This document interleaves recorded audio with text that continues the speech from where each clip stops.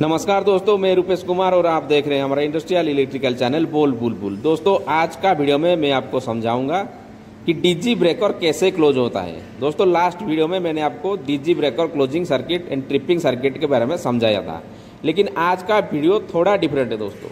ये जो पैनल आप देख रहे हैं दोस्तों, ये पैनल में इनकमर के साथ साथ बस कॉपलर भी लगा हुआ है और बीच में है डीजी इनकमर तो जहाँ पे बस कॉपलर रहता है कैपेसिटर ब्रेकर रहता है, वहाँ पे डीजी कैसे क्लोज होता है, उसका थोड़ा लॉजिक आज हम समझेंगे। तो वीडियो को अंत तक ज़रूर देखें दोस्तों।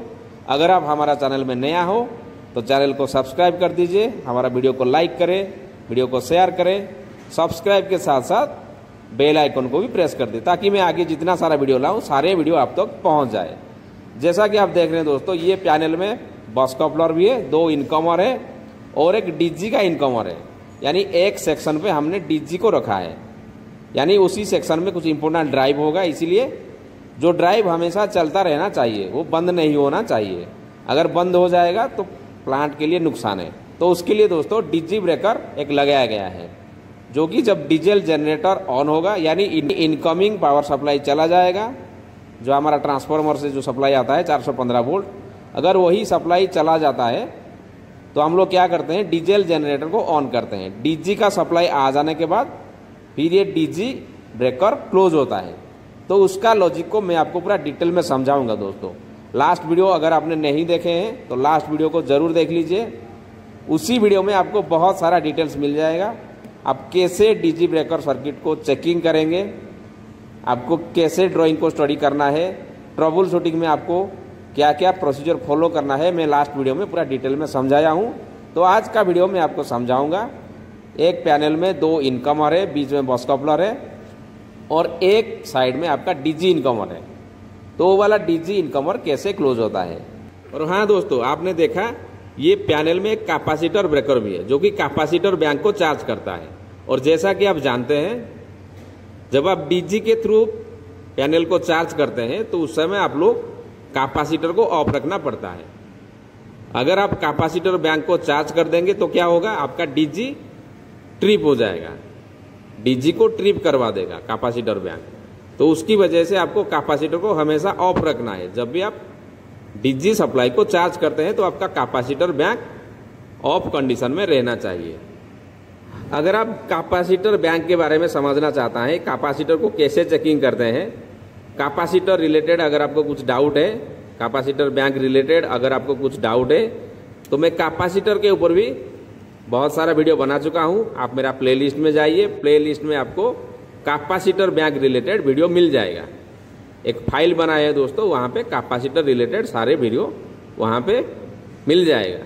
कि कैपेसिटर को कैसे चेकिंग करना है कैपेसिटर खराब हो गया है या कैपेसिटर सही है कैसे आप चेकिंग करेंगे, पूरा डिटेल में मैं वहाँ पे समझाया हूँ प्रैक्टिकल वीडियो का माध्यम से।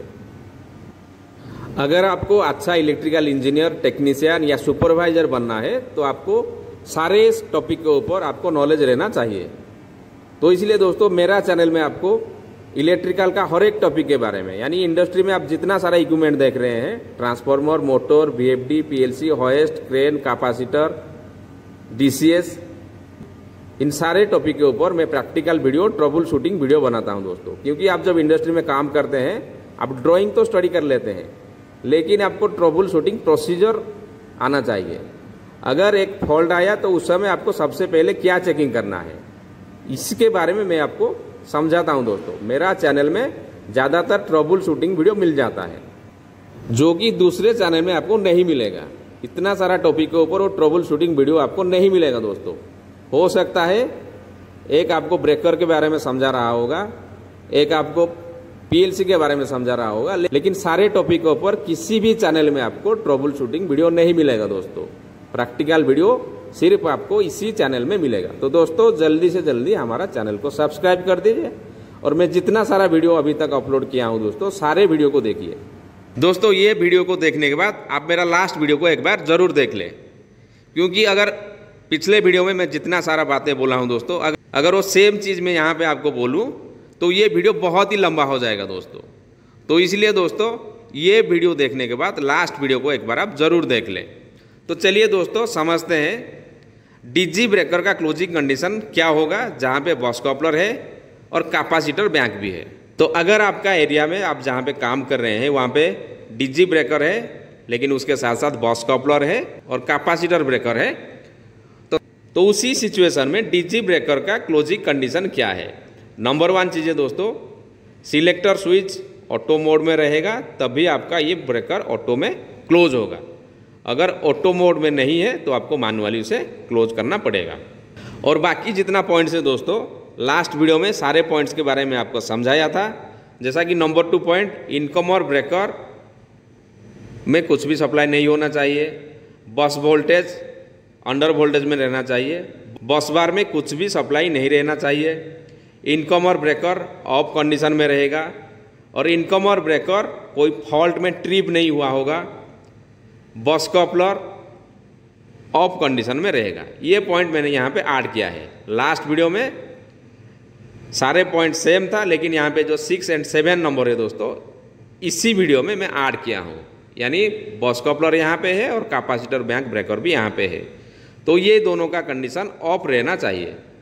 कैपेसिटर बैंक वाला ब्रेकर वो ऑफ़ में रहेगा बॉस कॉपलर ब्रेकर वो भी ऑफ़ पोजिशन में रहेगा।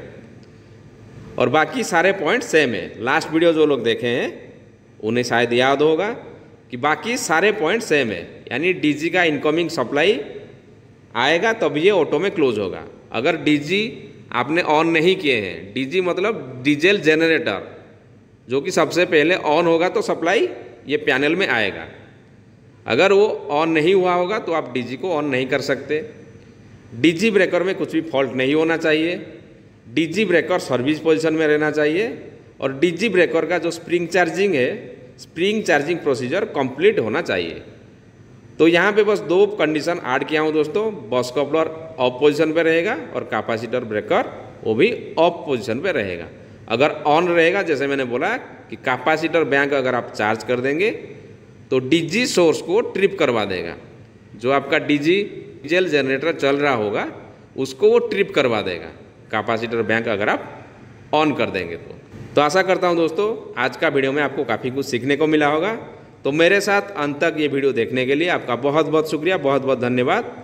देखते रहिए हमारा इंडस्ट्रियल इलेक्ट्रिकल चैनल बोल बुलबुल। मिलते हैं अगले वीडियो में। नमस्कार।